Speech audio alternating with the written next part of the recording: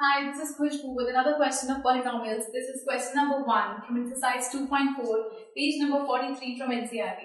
This says determine which of the following polynomials has x plus 1 as a factor. किन polynomials का factor x, x plus 1 है तो जिससे ये completely divide हो जाए जहाँ remainder 0 बचे उसका factor है ये otherwise नहीं so suppose let कर लेते हैं हम px कम मार्क्स में आएँगे ऐसे क्वेश्चन तो हम रिमाइंडर थ्योरम पे करेंगे। अगर ये ज़्यादा मार्क्स में है तो आप इसको लॉन्ग डिवीज़न में करके दिखाएँगे।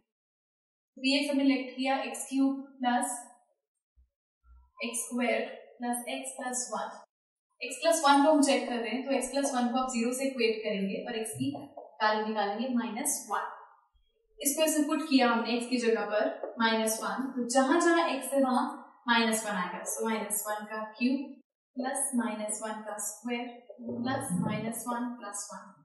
So minus 1 the cube is minus 1, minus 1 the square is plus 1, minus 1 plus 1.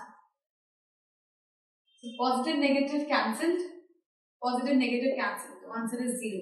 That means x plus 1 is a factor of this polynomial. Therefore x plus 1 is a factor of px. Second polynomial इसको हम let कर लेते हैं f x हमें given है x four plus x cube plus x square plus x plus one इसके अंदर भी हम एक्स की वैल्यू को माइनस वन डालेंगे। So this will be f of minus one minus one raise the power four minus one का cube minus one का square minus one plus one so minus one to the power four is one minus one का cube is minus one minus 1 का square is 1 plus minus 1 plus 1 positive 1 negative 1 cancel positive 1 negative 1 cancel बच गया plus 1 अब इसका reminder 1 बच रहा है that means x plus 1 is not a factor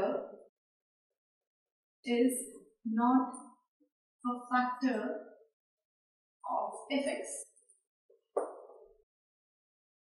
So this was question number one from exercise 2.4 and do watch the next video for some more questions. Goodbye.